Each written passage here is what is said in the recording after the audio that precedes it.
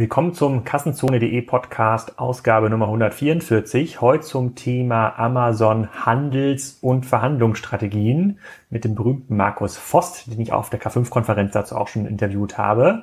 Ähm, dieser Podcast wird euch präsentiert von Faktor A. Das ist eine der größten ähm, Amazon-Agenturen in Europa. Die machen dieses ganze Marktplatzmanagement ähm, für Hersteller bei Amazon, eBay, Tmall und anderen Businesses. Daran bin ich auch beteiligt. Die haben ein White Paper rausgebracht vor ähm, einigen Wochen zum Thema Amazon Marketing Services. Das findet ihr unter kassenzone.de slash Amazon. Das ist sehr, sehr hilfreich. Da werden auch einige dieser Themen vertieft, die ich gleich mit Markus im Podcast äh, bespreche. Die Agentur selber arbeitet für die größten und renommiertesten Marken, äh, die wir hier in Deutschland finden können, die auch auf Amazon handeln. Das sind zum Beispiel Fissler, Garnier, L'Oreal, Osram, Sensodyne und viele andere. Die wachsen da sehr erfolgreich und schaffen es aus den einzelnen ähm, SKUs, die sie da optimieren, auf Amazon deutlich mehr Umsatz rauszuholen. Bei Markus lernen wir auch gleich, was das eigentlich bedeutet, bei Amazon Marktanteile zu gewinnen und nicht nur mit Amazon mitzuwachsen. Schaut mal rein, kassenzone.de slash Amazon. Jetzt aber erstmal viel Spaß mit dem Podcast mit Markus.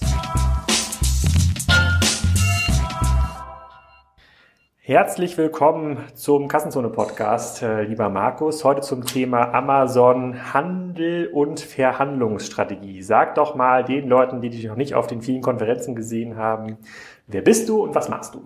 Ja, hallo Alex, mein Name ist Markus Vost. Ich bin ähm, Gründer, Geschäftsführer von Fostec und Company ähm, und ähm, wir unterstützen Markenhersteller ähm, äh, in der ähm, Steigerung derer Online-Marktanteile auf E-Commerce-Kanäle und äh, dabei eben auch unter anderem Amazon, äh, was natürlich ähm, ein wichtiger Vertriebskanal für diese ist. Genau. Was gibt dir so ein bisschen die Amazon-Kompetenz? Also warum bist du im Vorteil gegenüber anderen Beratern oder anderen Leuten, die man irgendwie fragen könnte? Hm. Also ich arbeite seit 2007 äh, mit, mit Amazon ähm, zusammen, ähm, habe diverse Beteiligungen, die auch seit Jahren mit Amazon zusammenarbeiten, aktuell fünf Stück, ähm, drei davon sind Vendor, zwei im Marketplace-Umfeld. Wir haben jetzt über ähm, 80 äh, Marken in der Amazon-Handelsstrategie begleitet und dadurch eben branchenübergreifend einen ganz guten ähm, Überblick, ähm, was da wie zu tun ist. Bevor wir da in die einzelnen strategischen Ausprägungen reinkommen, wir haben hier auch äh, mehrere Dutzend Fragen in der WhatsApp-Gruppe ähm, gesammelt. Warum braucht man denn überhaupt eine Handelsstrategie? Ich habe ja zum Beispiel noch nie einen Podcast gehört oder aufgenommen zum Thema Karstadt-Verhandlungsstrategie oder Mediamarkt-Verhandlungsstrategie. Also was, was ist hier neu? Mhm. Also neu ähm, auf der einen Seite ist äh, sicherlich, ähm, sag mal, die Gegebenheiten, wie, wie Amazon zu steuern ist, was dort richtig zu tun ist, um, um Umsatz zu maximieren. Und äh, sicherlich auch anders ist ähm, ähm, die Situation, wo Amazon herkommt, wenn man zurückblickt auf, auf, auf das Jahr 2007, wo Amazon einfach nur froh war, Premium-Marken Listen zu bekommen und auf die Plattform ähm, zu bekommen. Da war Verhandlung gar kein Thema. Das hat sich über die letzten Jahre eben sehr, sehr stark ähm, gewendet. Und ähm, das, denke ich, kam sicher auch äh, für den einen oder anderen Hersteller überraschend, ähm, wenn man die Historie von Amazon berücksichtigt. Und wie, wie drückt sich da aus? Also ähm, ich habe das, also mein, mein Schlüsselerlebnis war ähm, ja im Grunde genommen auch ein Treffen mit dir beim äh, Digital Commerce Day Network. Da saßen wir, glaube ich, irgendwo in Frankfurt in einer Runde mit mehreren Herstellern ähm, zusammen. Da hattest du dieses Beispiel von Metabo gebracht. Da können wir gleich nochmal drauf eingehen, weil du ja, ja auch ähm, direkt dran saßt und dann hatten alle schon so geschluckt, hoch, jetzt geht's irgendwie heiß her, weil bis dahin und bis dahin heißt eigentlich so bis 2014 war Amazon ja immer der große Freund ähm, aller Hersteller. Die haben eigentlich ohne Konditionenverhandlung alle Ware abgenommen, haben das Retourenproblem äh, bei sich behalten und waren total nett und dann damit konnte man immer relativ schnell äh, wachsen. Ist das auch so der Zeitpunkt, der aus deiner Sicht und nach deiner Erfahrung der sozusagen der Turning Point war, wo man dann anfangen musste, sich tatsächlich strategisch mit dem Thema auseinanderzusetzen? Hm. Also so der Turning Point ähm, aus meiner Sicht war ein Stück weit so im Jahr 2010, 2011, wo Amazon den Marketplace gelauncht hat und damit eben nochmal einen massiven Wachstumsschub ähm, bekommen hat ähm, und so in der Tat im Jahr 2013, 2014, 2015 dann sukzessive eben die Konditionsverhandlungen oder die Daumenschrauben angezogen wurden. Also so richtig die, die, die ersten Schmerzen auf der Herstellerseite, ähm, die sind 2014, 2015 ähm, losgegangen. Davor war das alles ähm, verglichen mit den anderen Vertriebskanälen, wo die Hersteller unterwegs waren, ähm, alles noch ähm, sehr homöopathisch. Und über welche Größenordnung reden wir denn überhaupt? Also welche Größenordnung kann man umsatztechnisch überhaupt verhandeln mit, ähm, mit Amazon? Und gilt das quasi für das äh, für beide Programmarten, also für das Vendor- und das Seller-Programm? Also hier müssen wir unterscheiden. In dem Seller-Programm äh, hat man grundsätzlich den Vorteil, mit Amazon nicht verhandeln zu müssen, weil dort alle Konditionen ähm, standardisiert sind und, und quasi im, im, im Seller Central schon ausgewiesen sind. Also hier gibt's gar keine Vertragsverhandlungen. Ähm, Im Vendor-Modell schon. Hier kann man auch wieder unterscheiden zwischen Vendor Express und dem traditionellen ähm, Vendor-Programm. Äh, in letzterem sind, sind Verhandlungen ähm, üblich. Äh, das Programm ist offen für Markenhersteller, ähm, die eine gewisse Größe haben. Und ähm, ja, die Frage, ab wann kann man überhaupt Amazon verhandeln? Ähm, das ist so ein Punkt ähm, als Hersteller, sag ich mal, im unteren siebenstelligen Umsatzbereich ist sicherlich, sag ich mal, die Verhandlungsmöglichkeit begrenzt. Ne? Ähm, als kategorierelevante Also Marke, unterer siebenstelliger Bereich heißt so mit ein, zwei Millionen Euro Umsatz über Amazon, also Ware, die ich an Amazon verkaufe für zwei Millionen Euro, muss ich jetzt gar nicht mich um das Thema Verhandlungsstrategie kümmern? Also je nachdem, in, manchen Kategorien hat man in dem Umsatzbereich noch nicht mal ein Jahresgespräch, ne? weil das in der Tat zu klein ist. Ähm, so ab mittlere siebenstellige Umsätze, vier, fünf Millionen Euro, ähm, wird man in, in den Kategorien ein relevanter Vendor. Ähm, der dann auch lohnenswert aus der Vendor Manager, also aus der Einkäuferperspektive ist, entsprechend nachzuverhandeln, wo der dann auch für sich einen Uplift ähm, sieht. Ne? Muss berücksichtigen, so ein Vendor Manager betreut zwischen 300 und 700 Lieferanten ne? und braucht in der Regel nur 30, 40 davon, um seine persönlichen Ziele zu erreichen. Wie viel? 300 bis 700 Lieferanten? 300 bis 700 Lieferanten, je nach Kategorie. Ne? Und 30, 40 davon sind in der Regel notwendig, ähm, um die eigenen internen Ziele zu erreichen. Und ja, äh, kann man sich schon vorstellen, dass er nicht dazu kommt, alle Einzelnen persönlich verhandeln zu können. Hm, okay, gut, damit wir da so ein bisschen Struktur reinbringen und ich glaube, das wird ja auch eine Podcast-Reihe mit äh, mehreren Ausgaben, zumindest rechne ich damit, wenn ich mir die Fragen in der WhatsApp-Gruppe so anschaue oder im WhatsApp-Kanal. Tun wir mal so, als wäre ich so ein Hersteller, der was an Amazon verkauft. Ich bin ein Hersteller von so Grill- und Kaminzubehör äh, und handle mit dem Namen Graf Koks, ja, sehr erfolgreich, habe eine Premium-Marke, ähm, bin bisher über den Fachhandel sehr stark vertrieben, ähm, mhm. Kein sehr beratungsintensives Produkt, also durchaus für den Onlinehandel geeignet. Wir sind da so im Preisbereich 100 bis 1000 Euro. Und äh, ich mache also 100 Millionen Euro Innenumsatz. Jetzt bin ich mit Amazon gewachsen in den letzten drei Jahren und ähm, glaube, dass ich jetzt dieses Jahr an die 6, 7 Millionen komme, also sozusagen 7 Prozent vom, vom Umsatz und bin jetzt eingeladen, ähm, überhaupt zu diesem Jahresgespräch zu kommen. So, Frage eins Vendor-Programm oder Seller-Programm oder gibt es noch irgendwas dazwischen? Mhm. Gut, wenn du zum Jahresgespräch eingeladen worden bist, dann bist du ja schon im Vendor-Programm. Aber ich habe mir noch nie Gedanken darüber sonst, gemacht. Ich habe mir noch nie Gedanken darüber gemacht. Genau, aber du bist zumindest schon mal jetzt äh, im Vendor-Programm gelistet äh, und über die letzten Jahre unterwegs gewesen, sonst hättest du die Einladung nicht bekommen. Grundsätzlich die Frage Vendor oder Seller ähm, das ist, das ist ein Thema, wo man sehr stark abhängig machen muss, einfach von der, von der eigenen Distributionsstrategie. Ne? Distribuiert man jetzt äh, mehrstufig, das heißt, hat man Fachhandelskanäle eben dazwischen, tendiert man eher in Richtung Vendor-Modell deswegen zu gehen, weil man einfach deutlich mehr Marketingmaßnahmen zur Verfügung stehen hat, um den Sellout zu maximieren. Ne? Problem im Vendor-Modell neben den Verhandlungen ist eben auch, dass Amazon ähm, die Abgabepreise, wie im Handel halt üblich, ähm, selbst festsetzt mit ihren Algorithmen. Der große Vorteil im Marketplace-Modell ist halt, dass man den Preis, den Abgabepreis selber steuern kann. Insofern für Direktvertriebsmodelle aller Vorwerk, Tupperware und Co. Ähm, ist natürlich so, so, so ein Marketplace-Modell obligatorisch, alleine einfach um die Preisstabilität am Markt sicherzustellen. Ne? Weil, weil, um das besser zu verstehen, würde ein, äh, ein Direktvertriebsmodell, also jemand, der ohne die Fachhandelsstufen irgendwie auskommt, da gibt es ja auch verschiedene Hersteller, mhm. würde das anfangen an Amazon zu verkaufen, ähm, hätte man die Gefahr, dass es jemanden gibt, der den Preis äh, unter meinen Preis, unter meinen Marktpreis setzen kann. Da würde sich also eher lohnen, im Sellerprogramm zu bleiben, also über den Marketplace zu handeln? Ja, in der Regel, sage ich mal, sind diese Marken ja sehr, sehr preisstabil und, und, und, und wollen in den Märkten ihren Abgabepreis stabilisieren. Ähm, diese Hoheit gibt man ja in dem Vendor-Modell letzten Endes auf, indem dass der Amazon-Algorithmus ähm, dann den Preis halt im Optimum, im Preismengen-Optimum festsetzt. Ja? Und der kann halt ähm, durchaus dann unter dem Hersteller UVP entsprechend liegen und würde so ein Direktvertriebsmodell natürlich dann den Marktpreis dann, dann, dann auch verzerren. Ne? Hast du schon mal Hersteller getroffen, die eigentlich ein Direktvertriebsmodell haben und trotzdem im Vendor-Programm bei Amazon sind? Nein. Also soweit, soweit ist schon, soweit ist schon nieder. Du sagst, dass es ähm, für jemanden, der nicht im Direktvertriebsmodell ist, sondern im mehrstufigen Vertrieb, ähm, der hat mehr Marketingmöglichkeiten bei Amazon. Da gab es auch in der WhatsApp-Gruppe so ein bisschen die Frage, naja, es gleicht sich ja gerade so ein bisschen an. Auch mhm. in dem Marktplatzumfeld hat man mittlerweile mal Marketingmöglichkeiten. Wie betrachtest du das? Du siehst, du siehst ja auch, du siehst ja auch den einen oder anderen Account mal an.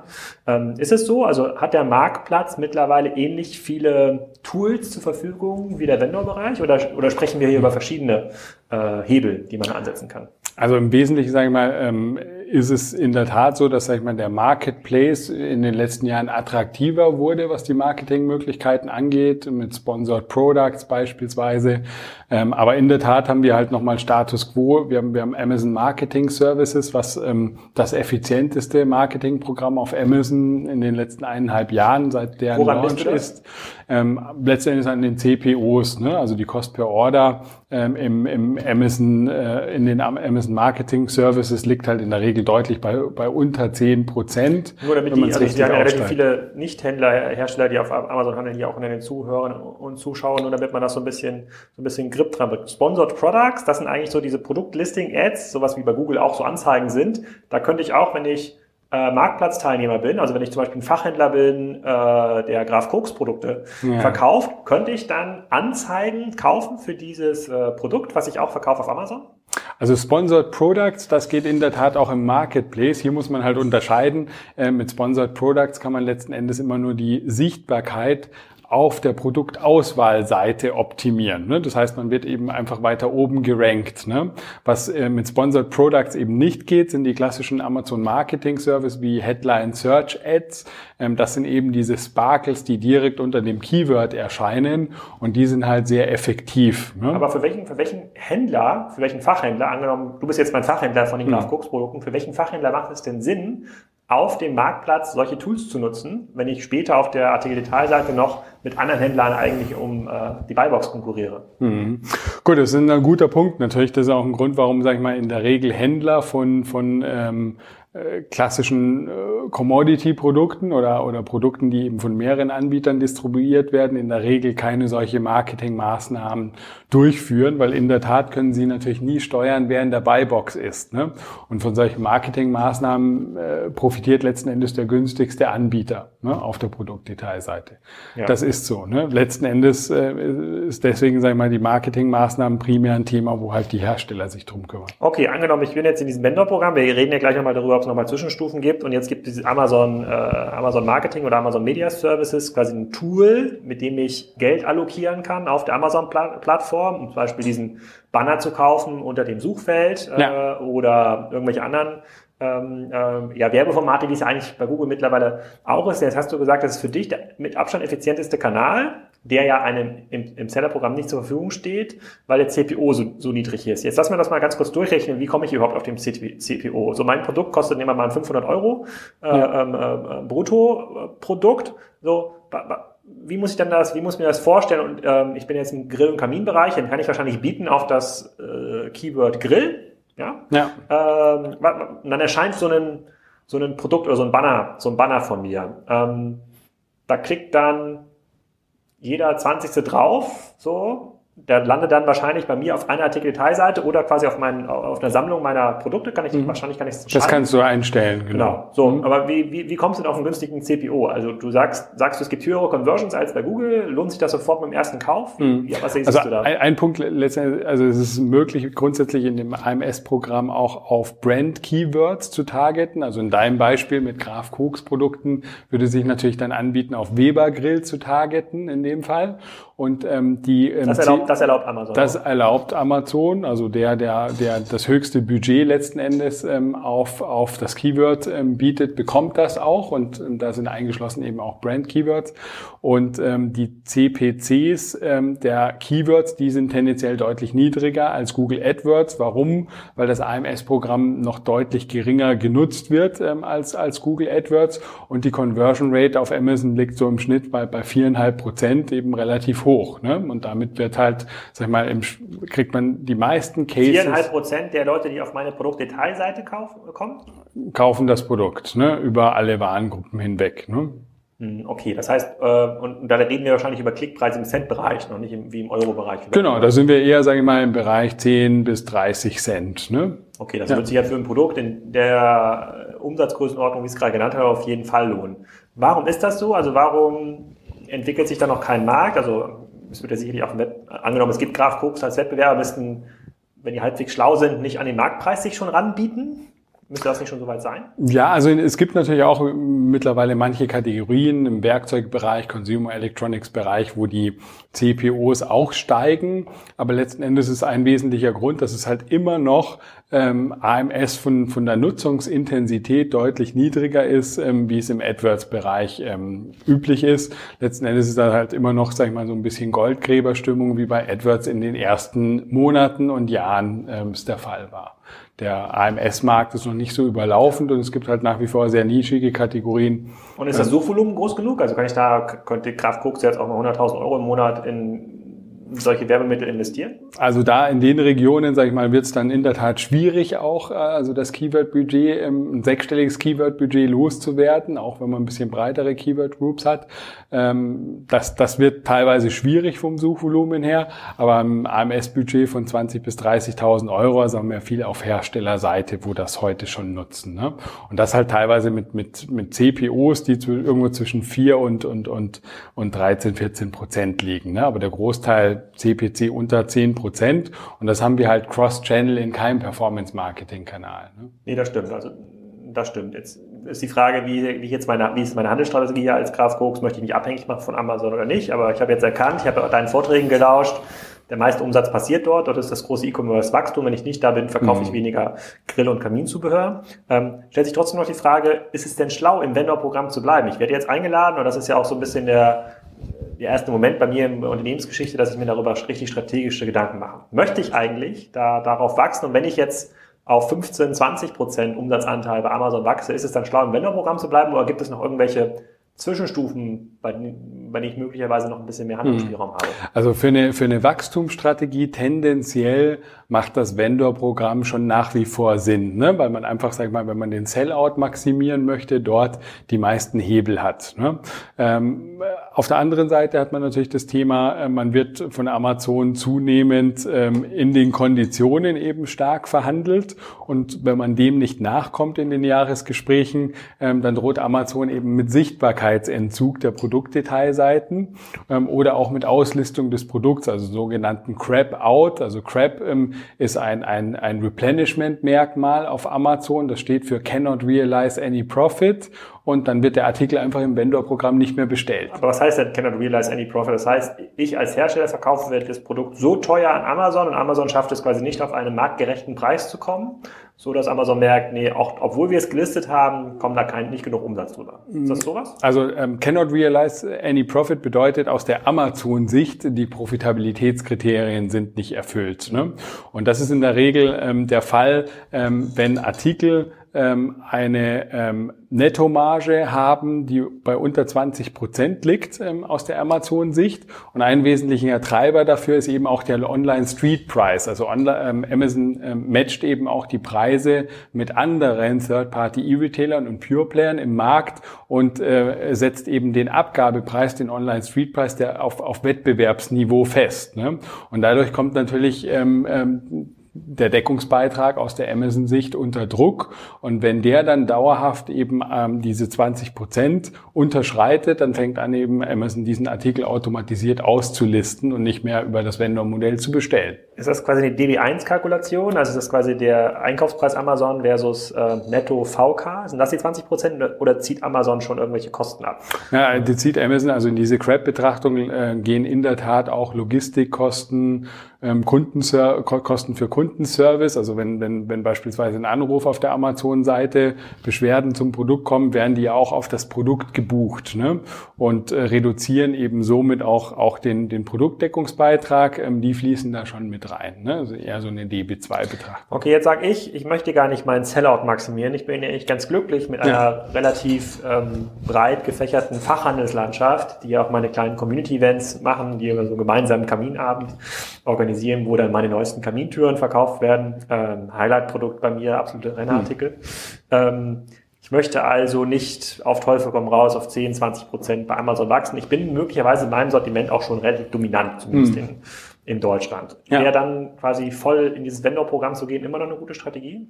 Oder gibt es was anderes? Naja, also wenn die, alleine wenn man mal die eigene Profitabilität betrachtet, muss man halt immer berücksichtigen, im Vendor-Modell bezahlt man äh, oder gibt eine, eine Erlösschmälerung von 20 bis 25 Prozent als Rechnungssofortrabatt ab und dann nochmal additiv 15 bis 30 Prozent als Backend-Kondition. Ne? Also wir sprechen irgendwo von 40 bis 50 Prozent Erlösschmälerungen, die an Amazon abgegeben werden im Vendor-Modell. Modell.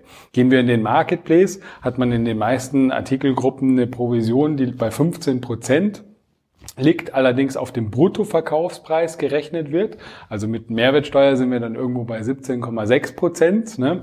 Und allein wenn man das halt gegenüberstellt, hat man im Marketplace-Modell natürlich eine deutlich höhere Wertschöpfung, geringere Erlösschmälerung und höhere Margen auf seiner Seite. Ne? Könnte ich, dann, also, könnte ich dann zusammenfassen könnte ich, oder verkürzt sagen, wenn ich meinen Umsatzanteil auf Amazon nicht maximieren will, also wenn mir möglicherweise das Marktwachstum von Amazon eigentlich egal ist, sollte ich mich aus dem Vendor-Programm zurückziehen? Grundsätzlich, also wenn es darum geht, einfach sag ich mal Marktanteile nur abzusichern oder visibel zu sein mit seinen Produkten, ähm, dann macht es durchaus Sinn, auf, auf, auf den Marketplace zu gehen und sag ich mal den Kanal vollständig selbst zu kontrollieren. Ja. ja. Was ich jetzt mittlerweile schon ein paar Mal gesehen habe bei verschiedenen Herstellern ist, es gibt so ja, Firmen, die eigentlich im Sinne der Hersteller dieses ja. Geschäft an Amazon äh, herantragen ähm, und damit schützen sich Firmen zumindest mittelfristig vor diesen direkten äh, Jahresgesprächen, ja. obwohl sie hintenrum schon sozusagen direkten Einfluss darauf nehmen, was und wie dort an, angeboten mhm. ist. Ist das für dich ein gängiges Modell, auch ein stabiles Modell?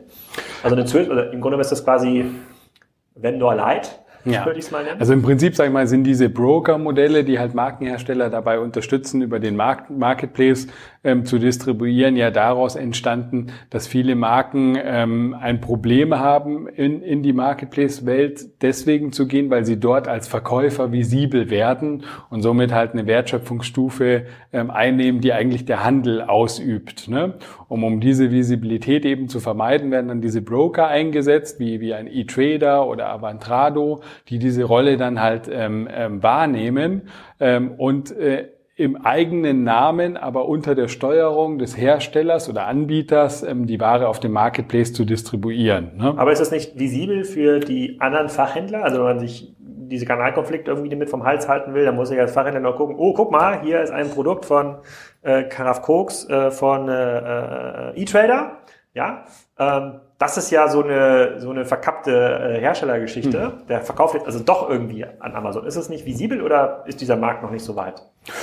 Naja, gut, ich meine, so, so diese Broker-Modelle haben am Ende des Tages halt auch mehr Marken im Portfolio und agieren wie ein normaler Händler, ähm, so dass es am Ende des Tages, sage ich mal, auch nicht, äh, sag ich mal, so im Fokus steht und letzten Endes ist es keine direkte, äh, äh, kein direktes Angebot eines Markenherstellers auf dem Marktplatz. Ne? Es ist halt immer eine eine Handelsstufe dazwischen und ähm, das wird als Kanalkonflikt freundlich eingestuft in der Praxis. Ne?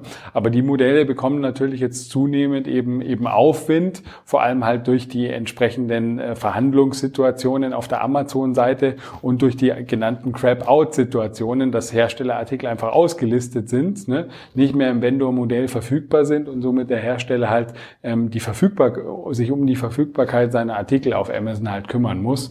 Und da kann das halt schon eine gute Alternative dann sein, ne? als okay. Backup-Strategie sozusagen. Also es könnte auch sinnvoll sein, beides zu machen. Ja, in jedem Falle, ne? weil, sage ich mal, wenn man äh, als, als Hersteller nahe am Optimum, also am Margenoptimum aus der Hersteller- oder Anbietersicht operiert, dann hat man halt in der Praxis immer wieder mal Artikel, die rausgecrappt werden, weil ein Crap-Out bedeutet ja auch immer, man hat sein Margenpotenzial voll ausgeschöpft ne, am Ende des Tages. Wenn man nie ein Crap-Out hat, dann verkauft man ja definitiv zu günstig an Amazon. Hier an dieser Stelle nochmal kurz der Hinweis, das, was wir gerade hier mit Markus besprechen im Podcast, findet ihr auch im Whitepaper kassenzone.de slash Amazon. Ähm, das Whitepaper wurde von Faktor A angefertigt und da vertiefen wir genau dieses Thema. Also ladet euch das gerne runter, das ist auch kostenlos. Ja, wie viel, ich habe äh, vielleicht nochmal, bevor wir nochmal in dieses Konditionenthema einsteigen, was man überhaupt verhandeln kann und wie, da, wie groß der Spiel, ähm, ähm, ähm, Spiel, Spielraum ist.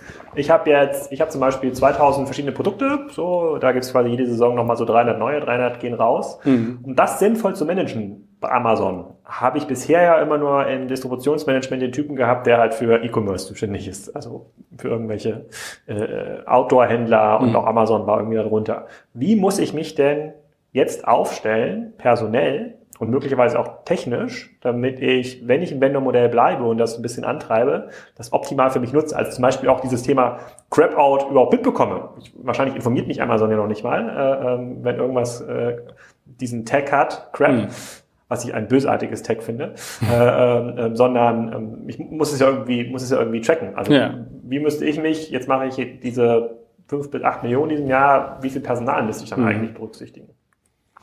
Ja, also in der Tat ist es ein Thema, das in der Praxis viele diesen Crap-Out gar nicht mitbekommen und ähm, sich erst wundern, sag ich mal, dass die Umsätze einbrechen und dann halt feststellen, dass Amazon die Artikel gar nicht mehr ordert und wenn sie dann dem auf den Grund gehen, dann sehen, dass es ein Crap-Artikel ist.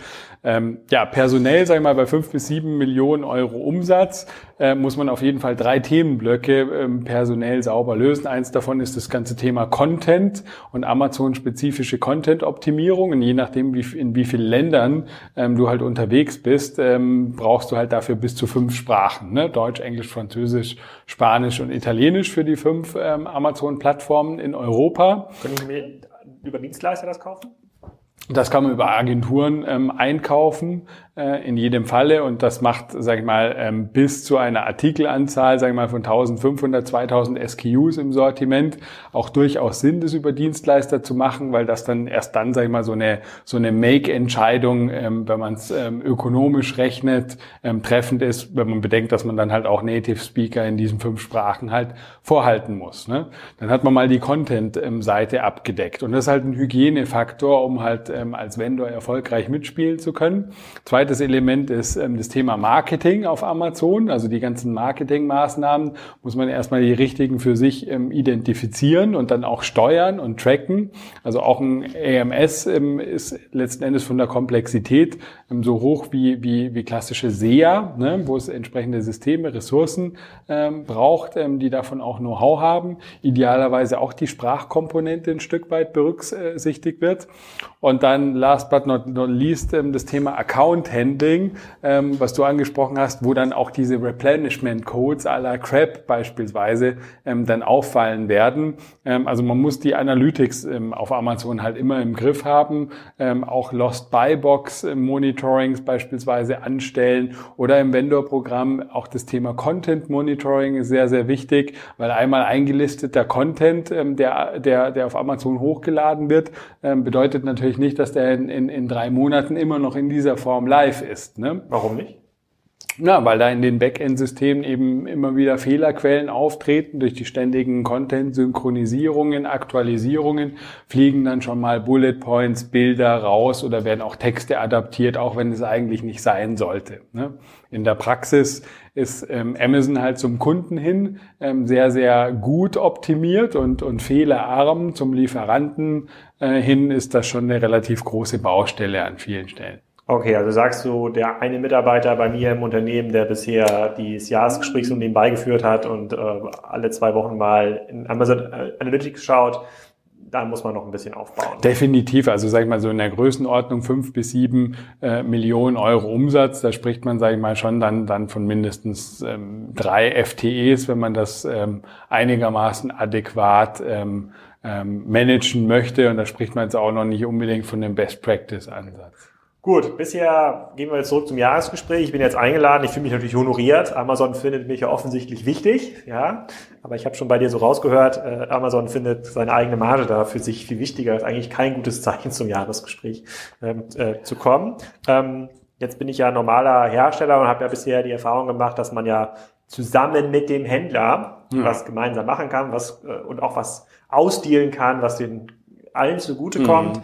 Ähm, was für Möglichkeiten habe ich denn da? Also was, über was für Konditionen rede ich denn da überhaupt im mhm. Jahresgespräch? Du hast ja gesagt, das eine ist irgendwie Marge, das andere sind so Backend-Konditionen. Wie, wie manifestieren sich denn Backend-Konditionen überhaupt? Was, mhm. ist, was steckt dahinter? Ja, also letzten Endes im Jahresgespräch geht es vordergründig in der Tat um Backend-Konditionen, weil die für den Vendor-Manager ähm, und seine eigene Profitabilitätsbetrachtung am wichtigsten sind. Und Backend-Konditionen sind letzten Endes nichts anderes wie Jahresendkonditionen. Da fallen Dinge rein wie Skonto, Bonus, ähm, aber auch ein WKZ. Ne? Dinge wie Retourenpauschalen werden da verhandelt, ähm, die Kosten für einen Brandshop, ne? ähm, die Kosten einzelner Marketingmaßnahmen. Was kostet so ein Brandshop? Kann man das pauschal sagen? Der Weber also, hat ja auch einen, jetzt will ich auch einen haben. Genau, also pauschal ähm, prozentual, ähm, sag ich mal, liegt es in der Regel so zwischen eineinhalb und vier, fünf Prozent, je nach Umsatzanteil. Jedoch wird da absolut mindestens 50.000 Euro im Jahr dafür genommen. Ne? Und nach oben hin, sag ich mal, gibt es eine relativ große Varianz. Ne? Das ist halt viel Verhandlungsbasis. Ähm, wenn man, sag ich mal, berücksichtigt, was bringt ein Brandjob ne, der Marke im Punkto Sellout, ne, dann ist letzten Endes ähm, jeder Euro dafür ähm, zu viel bezahlt, ähm, weil halt 98 Prozent ähm, der User auf Amazon gehen über die Suche und nicht über die Navigation. Demzufolge hat ein Brandjob in der Praxis halt keinen Traffic und bringt halt im Punkto Sellout auch keinerlei Uplift. Ne? Würde ich das als Vendor Manager in, in Analytics sehen? Ähm, ja, der Vendor-Manager auf der Amazon-Seite, der sieht das natürlich, ähm, da, dass es nichts bringt, außer natürlich seine Profitabilität zu erhöhen und deswegen wird er sie auch aktiv im Jahresgespräch pushen. Okay, aber sehe ich das als, sehe ich das auf der, äh, äh sieht das mal Mitarbeiter, der das Analytics quasi auf Herstellerseite betreut? Im Standard le leider nicht, weil das halt die Basis-Reportings, die zeigen halt keinen Produktdetailseiten Traffic.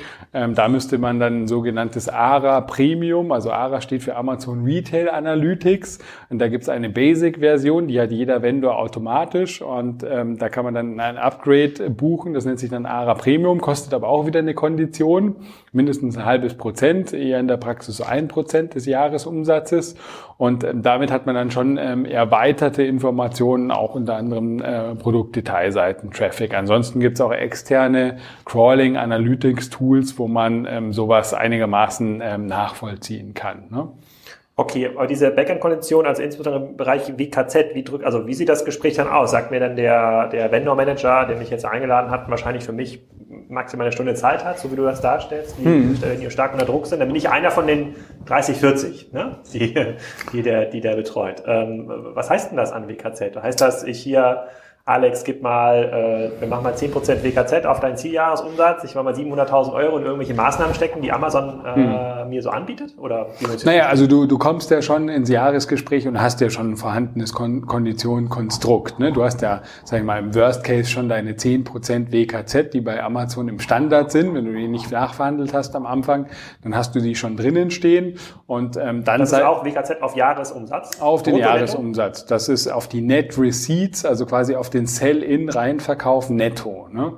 Da muss man auch immer ein bisschen aufpassen in den Verträgen. Also wir hatten auch schon Fälle, ähm, wo sich dann die Backend-Konditionen nicht auf den Net, auf die Net Receipts, auf den Sell-in bezieht, sondern auf den Sell-out. Das ist dann besonders blöd, weil ja nicht unbedingt äh, sichergestellt ist, ähm, dass ihr ähm, die Supply Chain, also den Share of Wallet, ähm, der Umsätze hat, ähm, dann zahlt ihr quasi Backend-Konditionen auch auf die Umsätze, die andere Vendoren von diesen Artikeln reinverkaufen. Ähm, das wäre blöd. Ne? Meine Fachhändler meinst du? Genau, ja. Ähm, das wäre in der Tat ziemlich blöd, ja. Genau, aber kann, äh, alles schon erlebt letzten Endes. Ne? Äh, wichtig ist aber im Standard, ähm, dass sich einfach die Backend-Konditionen auf die Net Receipts be beziehen und das sind die Reinverkäufe netto dann. Ist, bin ich hier schon in der Größenordnung, bei dem ich so einen, äh, wie nennt sich das, diesen SVS, also Mitarbeiter bei Amazon, äh, mir schon buchen kann? Ja, also in der, in der Kategorie würde ich sagen, da kann man über ein SVS nachdenken. Kannst du also, ein bisschen was dazu erzählen, wer das eigentlich ist, was der macht? Genau, also ein SVS steht Kommt der auch zur Firmenfeier von äh, Graf Koks Grills? Je nachdem, wenn du ihn einlädst und gut betreust, dann wird er wahrscheinlich auch zu deiner Firmenfeier kommen. Ne? Musst du ihm die Reisekosten dann erstatten. Ähm, SVS steht für Strategic Vendor Services und ist letzten Endes nichts anderes wie ein, ein Funded Head auf der Amazon-Seite ähm, und den die Marke bezahlt. Ne? Und ähm, das geht los, sage ich mal, ein halber SVS kostet 90.000 Euro, ein ganzer SVS kostet 180.000 Euro pro Jahr. Ne? Ein ganzer SVS bedeutet nicht, dass du den exklusiv für Graf Koks hast, sondern der betreut halt vier bis acht Marken insgesamt. Ne? Ähm, und, und, vier bis acht Marken auch jeweils ganz? Das scheint ja ein sehr profitabler Mitarbeiter zu sein dann für Amazon. Ja, in jedem Falle, in jedem Falle. Ne? Also die teilen sich ähm, diesen SVS und je nachdem, sage ich mal, wie du den dann operativ bespielst, ne, wird er dann halt einen gewissen Anteil seiner Zeit halt in, in, in deine Marke investieren. Ne? In jedem Falle ist, ähm, sag ich mal, diese SVS sind Junior Vendor Manager, in der Regel halt temporär befristet geheierte Mitarbeiter, ne, die einen Zwei-Jahres-Vertrag haben, ähm, in München und relativ neu bei Amazon dabei sind. Ne? Also gibt sicherlich, sag ich mal, effizientere Möglichkeiten, ähm, sag ich mal, ähm, Amazon zu steuern oder sag ich mal auch das Budget zu investieren als ein SVS. Was schätzt du aus deiner Erfahrung, wie viele SVS es da wohl so in München gibt, die für Händler oder für die für Hersteller arbeiten? Hunderte, weil sag ich mal die großen Allein Brands. In Deutschland Hunderte? Ja, weil die großen Brands letzten Endes ähm, SVS sehr häufig einsetzen. Aus dem Grund, sage ich mal, weil ja klassisch äh, ein Key Account Manager ist es ja nicht gewohnt, ähm, Content Management, Marketing Maßnahmen auf so einer operativen Ebene zu steuern, wie es Amazon erfordert. Ne? Und dann ist, sage ich mal, die Betreuung von dem Amazon ist ja auch für den Key Accounter der Marke ein extremer Pain. Ne? Ja. Und ähm, der SVS, der ähm, trägt natürlich dazu bei, einfach gewisse Arbeiten abzunehmen. Ne? Und da ja, sage ich mal, im B2B-Umfeld die meisten Key-Accounter ja nicht eigenes Geld ausgeben, ne, ist das ja erstmal, erstmal willkommen. Ne? Und da in jedem Fall sind da Hunderte im Einsatz. Also da habe ich quasi ganz, ganz verschiedene Gestaltungsmöglichkeiten für die WKZ, ähm, die mir dann angeboten werden. Aber ich muss dann ja, kann ich mich irgendwie vorbereiten auf das Gespräch oder gehe ich da einfach nur mit meinen Jahreszahlen rein und sage, ich will 20 Prozent wachsen und gucke mir dann mal an, äh, was mir Amazon anbietet. Mhm. Also in jedem Fall kann man sich vorbereiten und, sag ich mal, die eigenen Zahlen wirklich sauber aufbereiten, seine eigenen Retourenquoten kennen, ne? auch immer sich überlegen, sag ich mal, was ist der Business Case in der Zusammenarbeit mit Amazon? Was möchte man erreichen? Wie stark möchte man wachsen? Wichtig ist auch, dass man seine eigenen Marktanteile kennt und weiß, welche Relevanz man überhaupt hat auf der Amazon-Seite und wie wichtig man für den Vendor-Manager letzten Endes ist. Ne? Und ähm, auch, sag ich mal, für die Allokation der Marketingmaßnahmen ist sehr wichtig, auch wie viel Potenzial ist da überhaupt zu holen. Also es ist schon eine sehr quantitative ähm, Vorbereitung, die da notwendig ist, weil letzten Endes der einzige Sinn und Zweck... Kann ich meinen Musterkoffer mitbringen? Kann ich meine, die neueste Grillgeneration und Kaminzubehörgeneration einfach mal zeigen? Ja, das wird schwierig in München, weil es schon beim Einlass letzten Endes ähm, äh, ähm, darf man keine Gegenstände dieser Art überhaupt mitbringen, ne? ähm, weil du an, die, an der Drehtür wahrscheinlich dann ausgefiltert wärst unten im Erdgeschoss, wenn du in der Marcelbreuer Straße reinläufst. Ne? Okay, also, also kein Musterkoffer. Muster sind äh, bei Amazon äh, eher ähm, unerwünscht, ne? weil es wird das Vollsortiment grundsätzlich eingelistet und es interessiert sich letzten Endes keiner für detaillierte Produkte oder Neuheiten in dem Sinne. Okay. Aufgrund quasi, wir haben schon fast 40 Minuten gequatscht und aufgrund der engen Flugpläne heute, wir sitzen hier gerade am Flughafen Hamburg im, äh, im Hotel, müssen wir das Thema, was gibt es noch für Vertragskonditionen, die man verhandeln kann, wie sieht es im Detail aus und wie sieht es eigentlich aus, wenn ich sage, nee, äh, lieber Vendor-Manager, finde ich alles scheiße, ich habe da keinen Bock mitzumachen. Wie sehen denn solche Sanktionsmodelle aus ja. und wie drückt sich das im Umsatz aus? Ähm, außerdem fehlen noch ungefähr 100 Fragen aus der WhatsApp-Gruppe, die ich nicht gestellt habe. Das müssen wir auf jeden Fall nochmal nachholen im zweiten, dritten und wahrscheinlich auch vierten Teil. Ähm, an dieser Stelle schon mal erstmal vielen Dank. Äh, ja, sehr gerne. Sehr, sehr aufschlussreich. Äh, sind alle wieder eingeladen, in der WhatsApp-Gruppe noch Fragen nachzustellen. Ähm, ich stelle noch mal ein, zwei Charts von dir, die du auch auf der K5 ähm, gezeigt hast, schon mal den Beitrag für diesen ersten Podcast und freue mich jetzt schon auf Teil 2. Ja, gerne. Freue mich auch. Danke, Al. Das war's schon mit Ausgabe 1 zum Amazon Podcast mit Markus. Wir werden noch zwei, drei, vielleicht auch vier weitere Teile aufnehmen. Es gibt noch ganz viele offene Fragen aus der WhatsApp-Gruppe und aus anderen Kanälen wurden mir auch noch Fragen zugetragen. Das Thema Sanktionierungsmöglichkeiten und Vertragsstrategien. Da müssen wir noch deutlich tiefer reingehen. Ihr könnt äh, mir da weiterhin Fragen schicken und in der Zwischenzeit wäre es total cool, wenn ihr diesen Podcast auf iTunes bewertet und natürlich auch für diejenigen, die das E-Commerce-Buch schon gelesen und gekauft haben, das bei Amazon bewerten. Auch diejenigen, die es noch nicht gelesen haben, ähm, können das natürlich auch bewerten. Das ist, glaube ich, noch möglich bei Amazon. Und solange das noch nicht verboten ist, macht das einfach. Viel Spaß, bis zum nächsten Mal.